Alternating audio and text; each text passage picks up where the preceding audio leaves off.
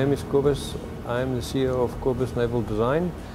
We started the business in 1984 and we've been in the naval architectural yacht boat design business for the last 25 years.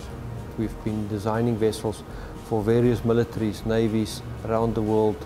We've designed vessels uh, for special forces units to, um, to reach very, very high speeds of 70 plus knots. And lately, we're focusing on uh, smaller designs and more dynamically designed such as the Coreban paddle boards.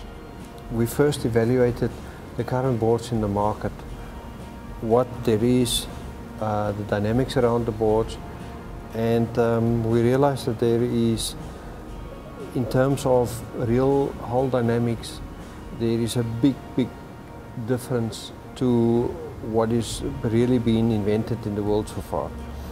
So we've taken um, a closer look at especially America's Cup hull boats, which are dynamically uh, the world's best designs, and we've tried to to to take modern, efficient hulls and develop it into the Coreban range of boards.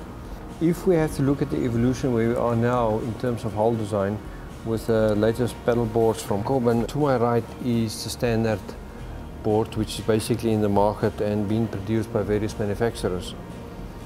Um, to my left is our latest board which is in production at the moment. In hull dynamics, it's all about the resistance in the water.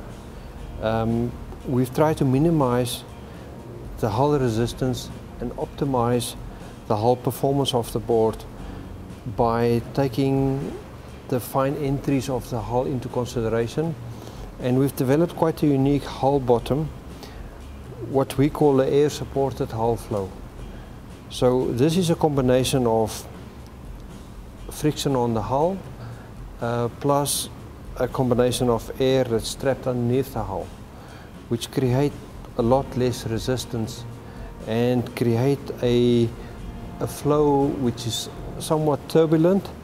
People might say it is negative, but in um, in our conditions it works quite well. The biggest feature on this hull and what's very important in smaller uh, crafts like the paddle boards is the entry of the hull shape.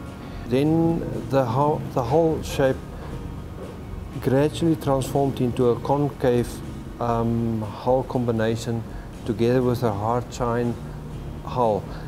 This gives the effect of almost a planing hull dynamics on, on, on power boats. The faster you go, the higher the lift coefficient in this uh, board uh, will be. So on very good paddlers, um, one should be able to reach close to 10, 15 knots on this board quite easily.